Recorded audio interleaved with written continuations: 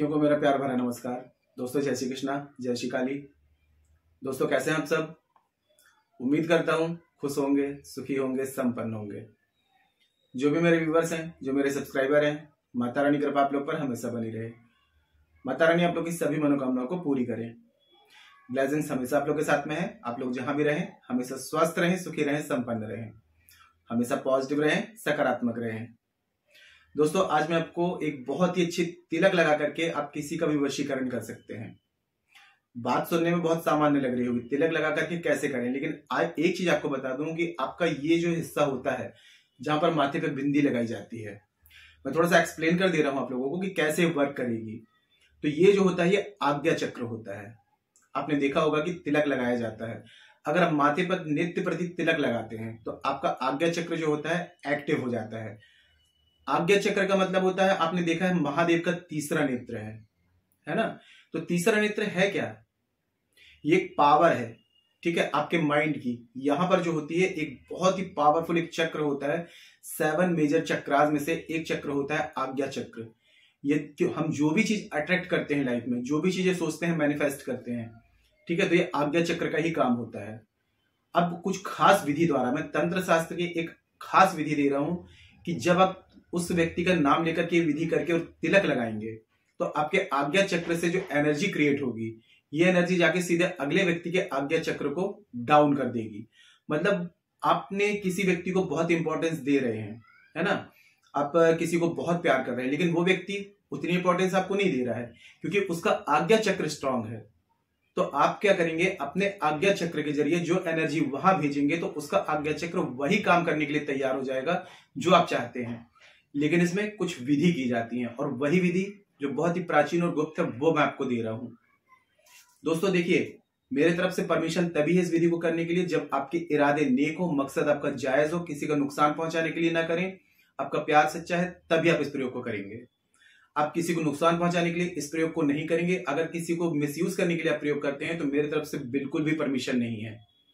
और मेरे तरफ़ से परमिशन नहीं है तो इसका मतलब यह है कि रेमेडीज वर्क नहीं करेगी। तो यदि आपके इरादे नेक हैं, आपका प्यार सच्चा है, आपकी भावनाएँ सच्ची हैं तो आप इस प्रयोग को हंड्रेड परसेंट कर सकते हैं। प्रयोग को दोस्तों, आप सोमवार, बुधवार, शुक्रवार और रविवार, इन चार दिनों में कर सकते हैं। ठीक है?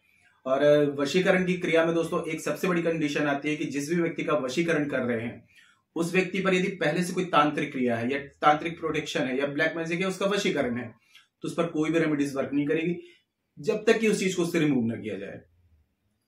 ऐसी कंडीशन में दोस्तों, यदि आप लोग मेरी हेल्प लेना चाहते हैं, मुझसे विधि करवाना चाहते हैं तो हंड्रेड परसेंट आपको वर्क करने वाली विधि करके दी जाएगी। क्योंकि मुझे पता है, काफ़ी लोग अभी आप लोग में भी ऐसे काफ़ी लोग होंगे, जो फ्रॉड केस में फंसे होंगे, ठगी में फंसे होंगे, थोड़ा सा अपनी बुद्धि विवेक का इस्तेमाल करें कि जिनको तांत्रिक क्रियाओं की एबीसीडी नहीं आती है, उन लोगों के चक्करों में आप फंस जाते हैं। आप लोगों से एक बार पैसा मांगा जाता है, उसके बाद में दोबारा से पैसा मांगा जाता है और आप दोबारा से दे भी देते हैं। तो ऐसे फ्रॉड केस में बिल्कुल भी ना फंसे। जहाँ पर आपको हंड्रेड परसेंट ऐसा लगे, विश्वास हो, वहीं पर फंसे और हमारे द्वारा दोस्तों, एक घंटे में या एक दिन में तीन दिन में कोई भी वशीकरण विधि करके नहीं दी जाती है। तांत्रिक क्रियाएँ होती हैं, बहुत ही जटिल होती हैं, इसलिए सात, ग्यारह, इक्कीस से इकतालीस दिन में वर्क करती हैं। ठीक है? लास्ट इसका जो स्टेज होती है, वो होती है forty one days forty one days में ही कोई रेमेडी पूरा हंड्रेड परसेंट रिज़ल्ट दिखाती है। कोई अगर आपको बोले कि एक दिन में या तीन दिन में वशीकरण करके दे रहे हैं तो बिल्कुल समझ जाइए कि फ्रॉड केस है। क्योंकि तांत्रिक क्रिया के नियम है कि सेवन डेज़ से इलेवन डेज़ इलेवन डेज़ से ट्वेंटी वन डेज़ और या फिर फोर्टी वन डेज़ में ही ये वर्क करती हैं। आज की जो मैं विधि बता रहा हूँ आपको, ये विधि भी आपको ये नहीं सोचना है कि एक दिन में थंबनेल थंबनेल में तो मैंने डाल दिया, ठीक है, चौबीस घंटे में। लेकिन दोस्तों, तांत्रिक क्रिया में आपको वीडियो में बता दे रहा हूँ कि seven days eleven days twenty one days या फोर्टी वन डेज़ में ही वर्क करती हैं। रिज़ल्ट दिखाती हैं तो थोड़ा सा पेशेंस बना के रखें। और एक बार में रिज़ल्ट नहीं आता है तो दूसरी बार उसी क्रिया को दोहराएँ। है ना? और पूरे विश्वास के साथ में करें। आज की जो विधि बता रहा हूँ, आपको लॉन्ग से करनी है। दिन मैंने आपको बता दिए हैं, सावधानी ये है कि नॉनवेज नहीं लेंगे, जिस दिन प्रयोग करेंगे, ब्रह्मचर्य से रहेंगे, ठीक है? और कोई भी स्टोन ना पहना हो। ड्रिंक अल्कोहल उस दिन इस चीज़ों को आपको ग्रहण नहीं करना है। सात्विक प्रयोग है, सात्विक तरीके से करेंगे, तभी उसका रिज़ल्ट पूरे तरीके से आपको मिलेगा। जानकारी शुरू करने से पहले दोस्तों बता दूँ, आप लोग यदि मेरे चैनल पर फ़र्स्ट टाइम विज़िट कर रहे हैं और आप लोग यदि इस प्रकार की जानकारी में इंटरेस्ट रखते हैं तो चैनल को जल्दी से सब्सक्राइब कर लीजिए और बेल आइकन को प्रेस कर लीजिए। क्योंकि दोस्तों में कुछ खास दिन के कुछ खास angels number switch words law of attraction की टेक्निक्स मनोकामना पूर्ति के उपाय, कर्ज मुक्ति के उपाय, धन प्राप्ति के उपाय, वशीकरण के उपाय, शत्रु बाधा से मुक्ति के उपाय, ऐसे एपिसोड बनाता हूँ। कोई खास जानकारी जो आपके काम की हो, आपसे मिस ना हो, उसके लिए आप चैनल को सब्सक्राइब कर लीजिए और बेल आइकन को प्रेस कर लीजिए। नोटिफिकेशन की जो बेल है ऑल पे क्लिक कर लीजिए। जब भी कोई खास जानकारी यहाँ से प्रसारित करूँगा, आपके काम की होगी तो आपसे मिस नहीं होगी। आपको आसानी से, तेज़ी से प्राप्त हो जाएगी और आप उस जानकारी का लाभ प्राप्त कर पाएँगे। और अपनी यदि दोस्तों कुंडली विश्लेषण करवाना चाहते हैं, बर्थ चार्ट चेक कराना चाहते हैं, क्योंकि बर्थ चार्ट यदि अनबैलेंस होता है या बर्थ चार्ट में कोई प्लानिट अनबैलेंस होता है तो कोई भी रेमेडीज वर्क नहीं करती हैं और बहुत सारी समस्याएँ लग जाती हैं। तो अपना बर्थ चार्ट यदि चेक कराना चाहते हैं और बर्थ चार्ट के अकॉर्डिंग किसी भी प्रकार की समस्या का समाधान चाहते हैं तो मुझे कॉल में कॉन्टेक्ट कर सकते हैं। और यदि आपका बर्थ चार्ट नहीं है कंफर्म नहीं है तो आप फेस रीडिंग ले सकते हैं। फेस रीडिंग के अकॉर्डिंग आपकी हर एक समस्या का आपको सटीक समाधान दिया जाएगा। परिवर्तन आप सात से ग्यारह दिन में साफ़ साफ़ देख पाएँगे। और दोस्तों देखिए लाइफ की जो परेशानियाँ जो चल रही होती हैं, वो 95 परसेंट जो होती हैं राहु ग्रह की वजह से होती हैं। राहु ग्रह को यदि अपने बर्थ चार्ट में बैलेंस कर लिया जाए तो अनएक्सपेक्टेड धन, रुपया, पैसा, सफलता सब कुछ मिलना शुरू हो जाती है। 95 परसेंट तक प्रॉब्लम्स का सोल्यूशन ऑटोमेटिक मिल जाता है। और हमारे द्वारा बर्थ चार्ट में राहु ग्रह को बैलेंस करने के लिए अठारह दिन की शाबर मंत्रों के द्वारा एक विशेष पूजा की जाती है जो आपके बर्थ चार्ट में आपके नाम माता पिता के नाम दादाजी के नाम फ़ोटो संकल्प के ज़रिए आपके बर्थ चार्ट में बर्थ चार्ट में टोटल बैलेंस कर दिया जाता है। और अठारह दिन में आपको अमेजिंग चेंजेस नज़र आते हैं। तो ये पूजा यदि बुकिंग कराना चाहते हैं तो व्हाट्सएप में जाकर के बुकिंग करा करा, करा सकते हैं।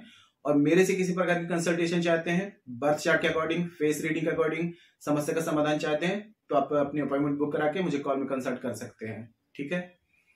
आज का जो प्रयोग बता रहा हूँ दोस्तों, ये आप किसी भी किसी भी समय कर सकते हैं। दिन मैंने आपको बता दिए, सोमवार बुधवार, शुक्रवार, रविवार। इन चार दिनों में सुबह, शाम, रात जब भी आपको समय मिलता है, किसी भी समय कर सकते हैं। लेकिन प्रयोग करेंगे तो एकांत कमरे में बैठ के करेंगे, कोई आपको रोके टोके ना, ठीक है? एकदम पॉजिटिव होकर के, सकारात्मक सोच कर रख के, विश्वास के साथ में इस प्रयोग को करना है। आपको लेना है 21 लौंग, फूल वाली, ठीक है? फूल वाली बिल्कुल अखंडित जिसमें फूल लगा हो, और भीमसेनी कपूर या बरास, शुद्ध कपूर लेंगे, तभी ये रेमेडी वर्क करेगी। केमिकल्स वाले कपूर आपको यूज़ नहीं करने हैं। भीमसेनी कपूर मांगना है या बरास? ठीक है? अब आपको क्या करना है? किसी भी पीतल के पात्र में या फिर मिट्टी के पात्र में, इन दोनों में से कोई एक पात्र ही लेंगे, मिट्टी या पीतल।